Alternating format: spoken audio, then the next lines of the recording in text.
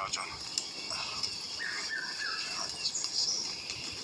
silverback is just behind you. He sat, he sat a meter behind you. And there's three babies squashed between him and you. Females just behind you to your right.